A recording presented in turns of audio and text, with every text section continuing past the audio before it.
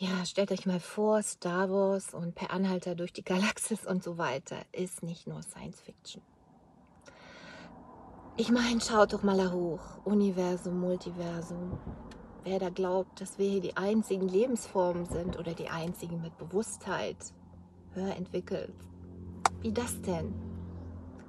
Da draußen sind andere mit höherem Bewusstsein als die meisten Menschen im Moment noch hier, aber auch mit weitaus niedererem. Oftmals dann hoher IQ, aber kein Herz irgendwann mal so entschieden und dann abgetrennt. Heute Morgen habe ich, ich glaube, das dritte Mal in meinem Leben, so zwischen Schlafen und Wachen in dieser Aufwachphase auf einmal was gehört. Also es muss keiner denken, ich habe eine Meise oder so. Ich weiß genau, wann es irgendwie sowas ist. Beim ersten Mal schon ein bisschen länger her, da habe ich mich wirklich erschrocken und jetzt habe ich mir vorgenommen, ich bleibe total im Vertrauen auf Gott, auf den göttlichen Plan dahinter. Wie will man das alles, wenn man mehr weiß und mehr wahrnimmt, sonst sowieso verpackt bekommen? Und der Verstand hat so starke Grenzen, der versteht es nicht, meiner natürlich auch nicht. Habe ich auch, ja, mir angewöhnt, was ich nicht verstehe. Loslassen, ins Vertrauen gehen.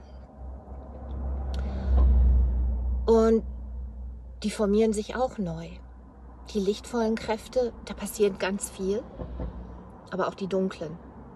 Diese andere Seite, die hier überhaupt noch nicht losgelassen hat. Es ist Zeitenwende, ihre Zeit ist abgelaufen, aber die haben es halt noch nicht akzeptiert. Und da habe ich was wahrgenommen wie so eine komische Sprache und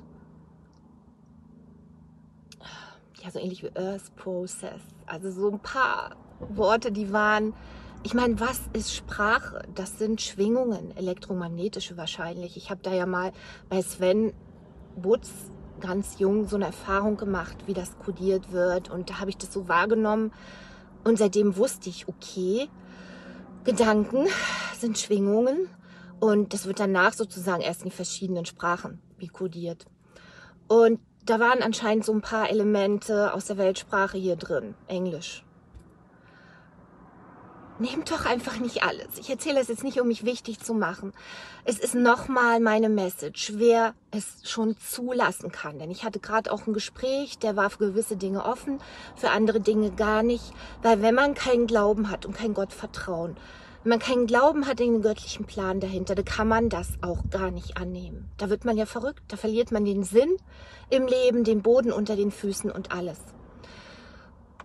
Und nicht vergessen, Menschen sind gut. Menschen haben ein Herz. Ich meine mehr oder weniger